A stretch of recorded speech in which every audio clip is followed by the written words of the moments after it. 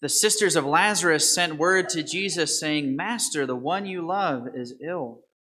When Jesus heard this, he said, This illness is not to end in death, but it is for the glory of God, that the Son of God may be glorified through it. Now Jesus loved Martha and her sister and Lazarus. So when he heard that he was ill, he remained for two days in the place where he was. Then after this, he said to his disciples, Let us go back to Judea. When Jesus arrived, he found that Lazarus had already been in the tomb for four days. When Martha heard that Jesus was coming, she went to meet him, but Mary sat at home. Martha said to Jesus, Lord, if you had been here, my brother would not have died. But even now I know that whatever you ask of God, God will give you. Jesus said to her, Your brother will rise. Martha said, I know he will rise in the resurrection on the last day. Jesus told her, I am the resurrection and the life. Whoever believes in me, even if he dies, will live. And everyone who lives and believes in me will never die. Do you believe this? She said to him, Yes, Lord. I have come to believe that you are the Christ, the Son of God, the one who is coming into the world. He became perturbed and deeply troubled and said, Where have you laid him? They said to him, Sir, come and see. And Jesus wept.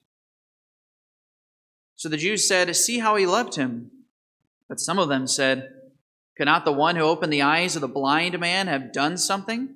so that this man would not have died? So Jesus, perturbed again, came to the tomb. It was a cave, and a stone lay across it. Jesus said, Take away the stone.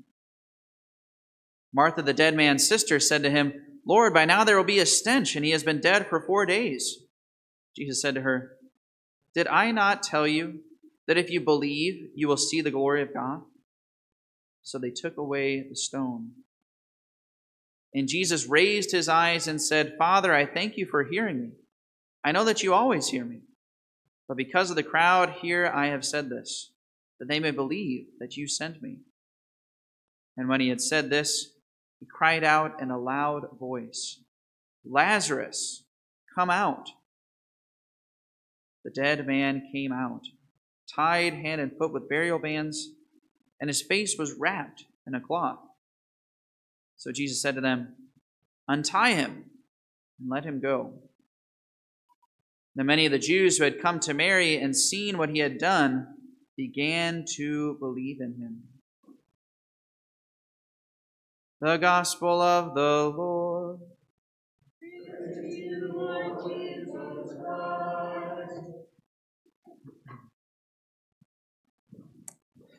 So today we are continuing on. 2023 is the year that we are all becoming acquainted with the Bible here at St. Bernard.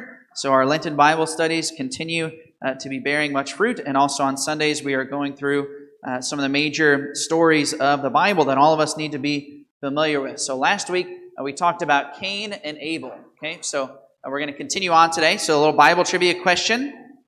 Genesis names Cain and Abel as the first two sons of Adam and Eve. Who is the third son? What was that name?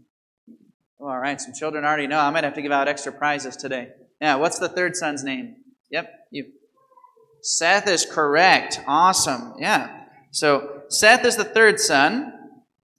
Now, sometimes people wonder, right? So in the book of Genesis, where did all these other people come from? Right? If we only know about Cain and Abel and Seth, where did all the rest of the families come from? Where did the wives of Cain and Seth come from? Right? Well, it turns out that Genesis, there's kind of a, a throwaway line. It's in uh, chapter 5, and it says that and Adam and Eve had other sons and daughters. Okay? So they're not named in Genesis. However, Jewish tradition actually does give us the names of their spouses. Okay? So, uh, and yes, it's a little bit strange marrying your sister, uh, but when there's no other human beings around, right, that's what they had to do there in the beginning. Right? Now, another Bible trivia question for you. See if the children know this too. So in the Bible, there are two people explicitly listed as not having died in the Old Testament. Two people who didn't die, everybody else. Any of the parishioners know, right? Can we name the two people? right? So, yeah, you know? Moses and Elijah is very close. Okay, so it's Elijah and Enoch. Okay, Enoch. And Moses, she said Moses because even though it doesn't say so in the Bible, uh, again, that was part of Jewish tradition. People didn't think that Moses actually died, right? So, but we read about Enoch here in chapter 5 of Genesis, verse 24. Enoch walked with God, and he was not, for God took him.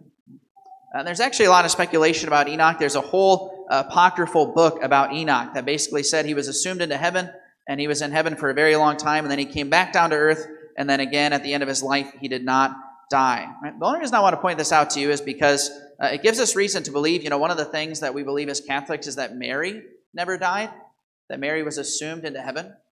And some people think that's strange. And I would just point out to them, you know, other people in the Bible right, didn't die. Okay? Now, what else is interesting here? So we, we read about Cain and Abel last week, and now this week we're going to talk about uh, the flood of Noah. And I know that many of you are familiar with the story of Noah, so I just want to point out some specific details. Okay? So let's open our Bibles to chapter 6, and we'll read verses 11 and following. Okay? So if you have your Bible, chapter 6, verse 11 and following. Now the earth was corrupt in God's sight, and the earth was filled with violence. And God saw the earth, and behold, it was corrupt for all flesh had corrupted their way upon the earth. And God said to Noah, I have determined to make an end of all flesh, for the earth is filled with violence through them. Behold, I will destroy them with all the earth. Therefore, make yourself an ark of gopher wood, make rooms in the ark, and cover it inside and out. Okay? This is how the story of the flood is introduced.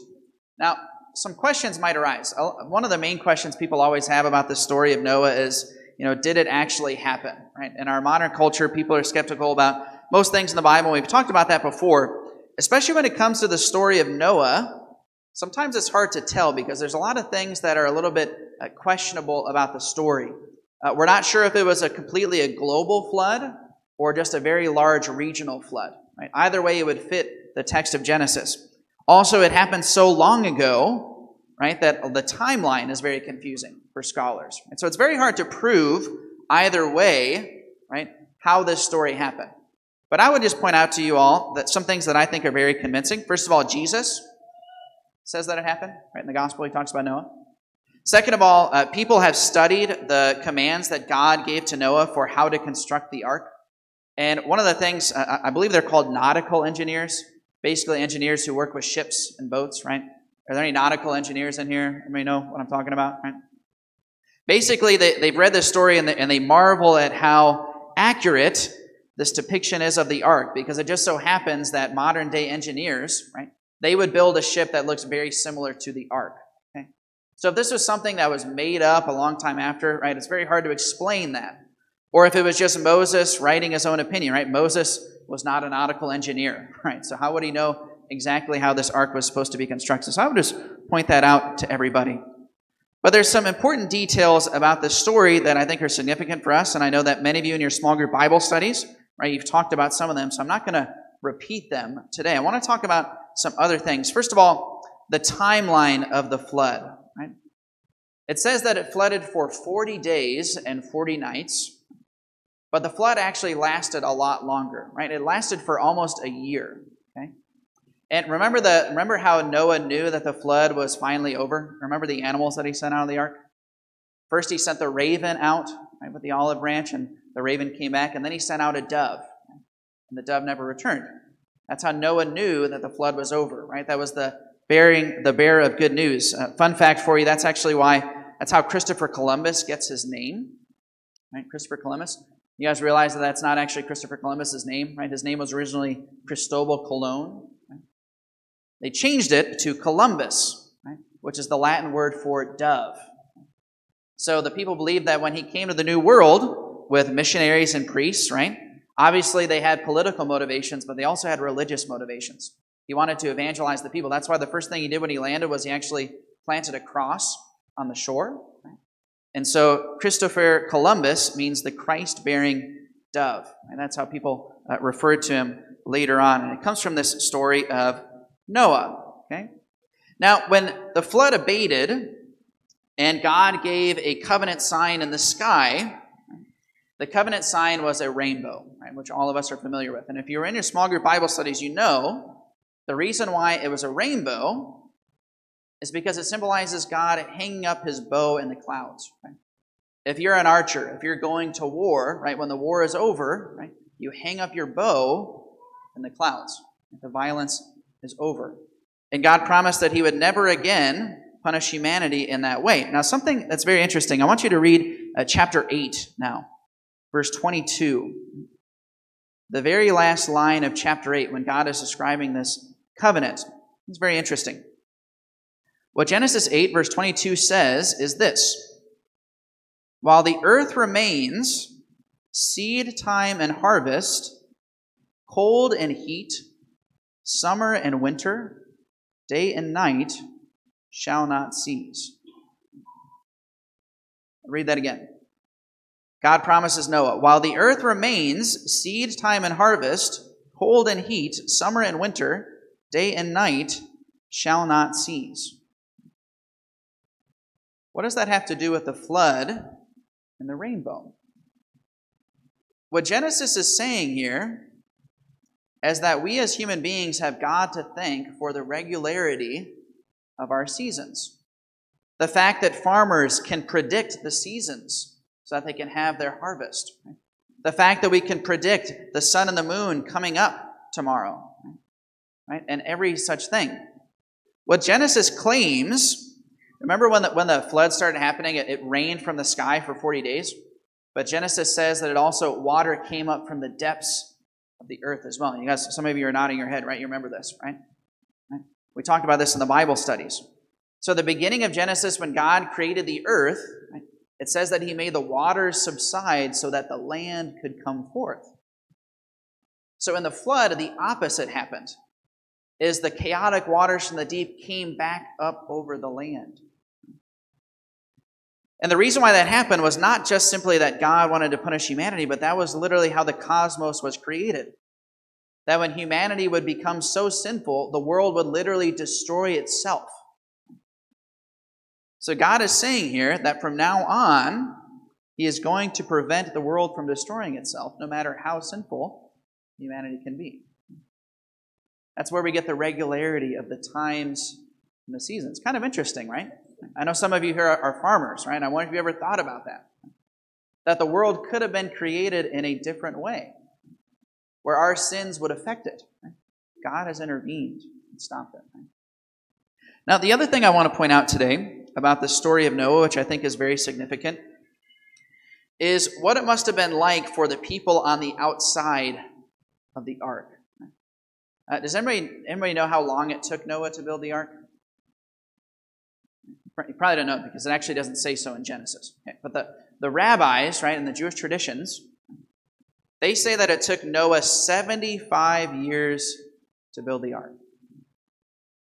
I'm not going to ask you to raise your hand if this applies to you, okay? But very few of us in this church are even over the age of 75. Okay? 75 years it took him to build the ark, right? Longer than most of our lifetimes. And can you imagine what it would have been like for the people on the outside? Right? There's crazy Noah again, right? Still building that ark 75 years later, still waiting for the flood, right? Must have thought he was some crazy person. And then it says in Genesis that when the ark was finally completed, it still wasn't raining yet, and God told his family to go in the ark for seven days before it actually started to rain. Again, crazy old Noah, right? Going into his ark. What the early church fathers said about this passage when they read the story of Noah is they said that this is like a foreshadowing of people who are outside of the church. Noah's ark is symbolic of the church. And isn't that true? Aren't, aren't there people who are outside the church that look at us and just say, man, look at those crazy, outdated, superstitious people still believing all that stuff in the Bible? People think we're crazy. The early church fathers also said that the church is symbolized by the ark. That just as in the new covenant, We are saved through the wood of the cross and the waters of baptism, just as in the days of Noah. The people were saved through water and the wood of the ark. The church represents, or the ark represents, a foreshadowing of the church.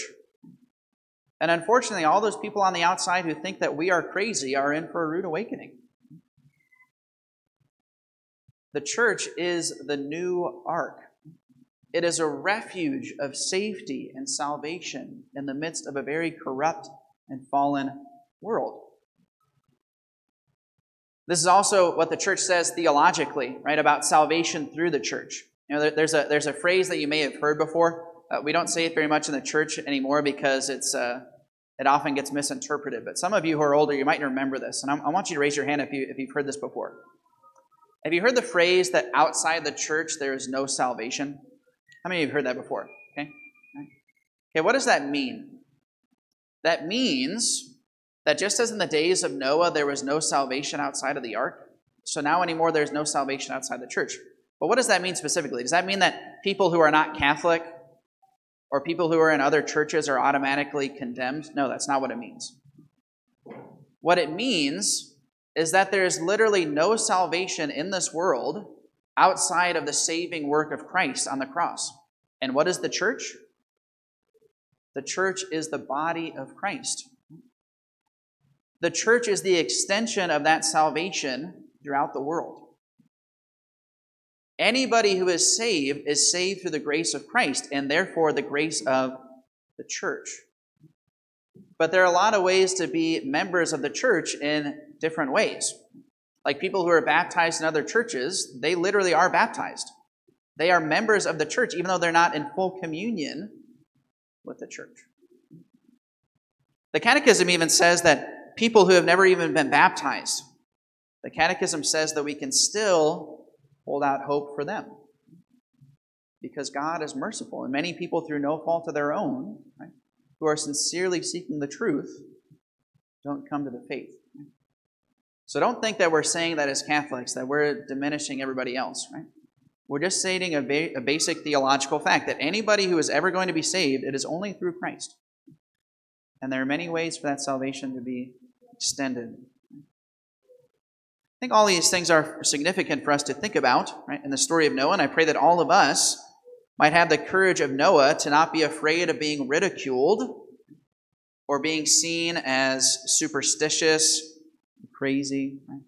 But we might remain faithful members of the church throughout our entire lives, no matter how politically incorrect it might seem, no matter how much it might damage our reputations, right? That we will remain in the church the day that we die.